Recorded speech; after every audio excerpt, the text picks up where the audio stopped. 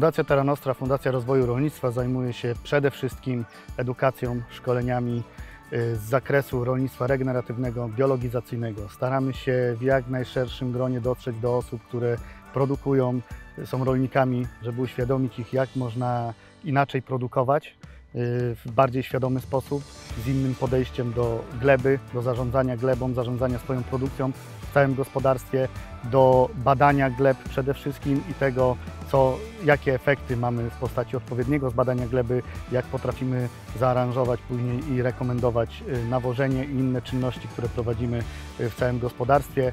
Fundacja dodatkowo zajmuje się przygotowaniem do certyfikacji, certyfikacji, y, którą według standardu, który powstał w fundacji, według standardu zintegrowanej produkcji regeneratywnej, gospodarstwa uczestniczące w programie certyfikacji e, przechodzą konwersję, drogę od y, gospodarstw konwencjonalnych do gospodarstw regeneratywnych y, i tym głównie zajmuje się, zajmuje się fundacja. Fundacja dysponuje, dysponuje y, kodeksem 5C tak zwanym, który jest y, tak naprawdę składową i zlepkiem e, praktyk i, i mm, wszystkich czynności, które według Top Farmsu, bo kodeks 5C podło- powstał w Top Farmsie, według Top Farmsu są głównymi założeniami rolnictwa regeneratywnego.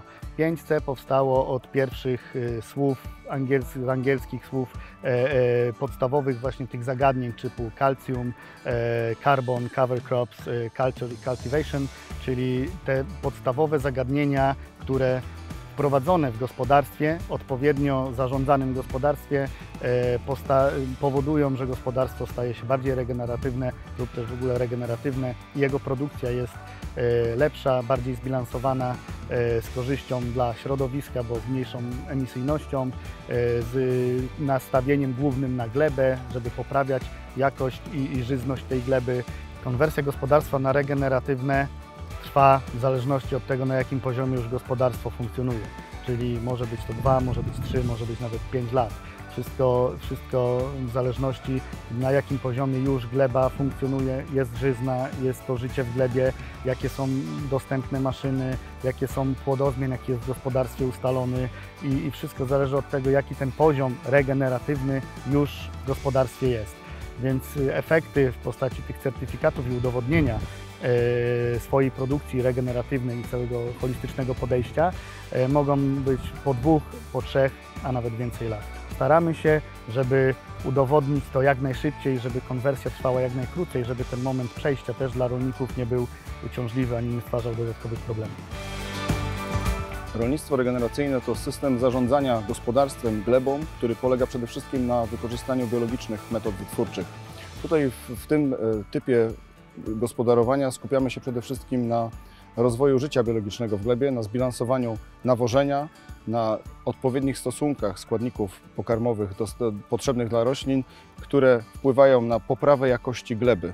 Dzięki rolnictwu regeneracyjnemu jesteśmy w stanie podnosić zawartości materii organicznej w glebie. To przekłada się na kondycję roślin, które w stosunku do rolnictwa konwencjonalnego e, są zdecydowanie lepszej jakości, wynikającej z dobrego samopoczucia podczas rozwoju wegetacyjnego.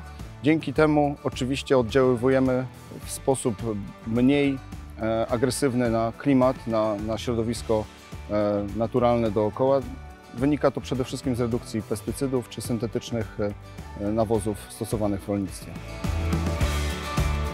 Rolnictwo regeneracyjne to szereg korzyści. My na przykład w naszym gospodarstwie zredukowaliśmy na przestrzeni ostatnich 10 lat niektóre, zużycie niektórych środków ochrony roślin do poziomu 5% dawki rejestracyjnej, co jest, e, proszę Państwa, no, osiągnięciem bardzo dużym i wciąż te pestycydy działają ze skutecznością, która jest zadowalająca.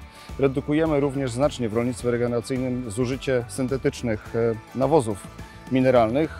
To oczywiście szczególnie w ostatnich latach bardzo mocno drożeje. Inflacja w tym zakresie jest coraz wyższa, więc jakakolwiek redukcja w tym zakresie to już bezpośrednia korzyść dla rolnika.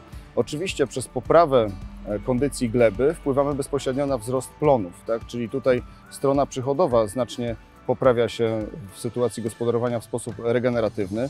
Oczywiście na horyzoncie pojawiają nam się możliwości kapitalizacji kredytów węglowych. Na chwilę obecną w Europie czy w Polsce jeszcze nie mówi się o tym zbyt wiele, ale już na rynku amerykańskim czy australijskim handel kredytami węglowymi jest coraz bardziej popularny.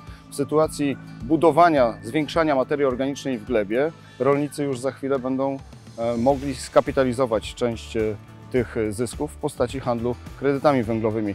To ma też oczywiście bezpośrednie przełożenie na jakość produkowanej żywności. Produkty uzyskiwane e, w sposób regeneratywny z rolnictwa rege- regeneratywnego są lepiej zbilansowane, charakteryzują się lepszą jakością, lepszym zbilansowaniem składników pokarmowych, czego poszukuje też przemysł. Tak? Jeśli mamy lepsze i zbilansowane składniki odżywcze, do tego zredukowane pozostałości środków ochrony roślin, to to jest korzyść e, dla rolnika jedna. No, produkt jest bardziej sprzedawalny, bardziej atrakcyjny na rynku. W naszym gospodarstwie w Wielkopolsce, w Top Farms, przygodę z rolnictwem regeneracyjnym rozpoczęliśmy już 10 lat temu. E, Uważam jednak, że przejście, e, w zależności oczywiście od stopnia intensyfikacji działań rolnika, przejście z rolnictwa konwencjonalnego do rolnictwa regeneracyjnego to minimum okres dwóch lat. Oczywiście e, przy wdrożeniu szeregu praktyk e, jednocześnie już od początku ten okres będzie zdecydowanie bliższy e, dwóch lat, natomiast jeśli te działania będą wprowadzane w sposób ograniczony, no to oczywiście odpowiednio dłużej zajmie rolnikowi. Natomiast, żeby zaobserwować takie wizualne efekty widoczne dla rolnika, czyli poprawę wigoru, wzrostu roślin, wzrost zawartości materii organicznej w glebie, to myślę, że już te 2-3 lata są y, takim okresem, który y, da wizualne i namacalne efekty działalności.